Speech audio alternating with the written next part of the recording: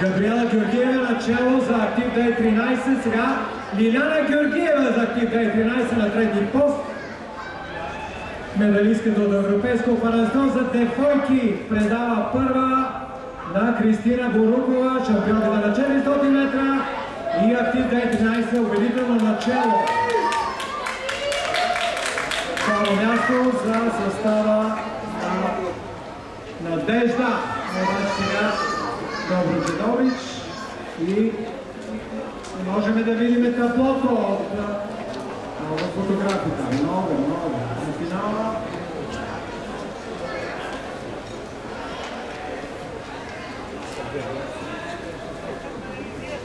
Thank you.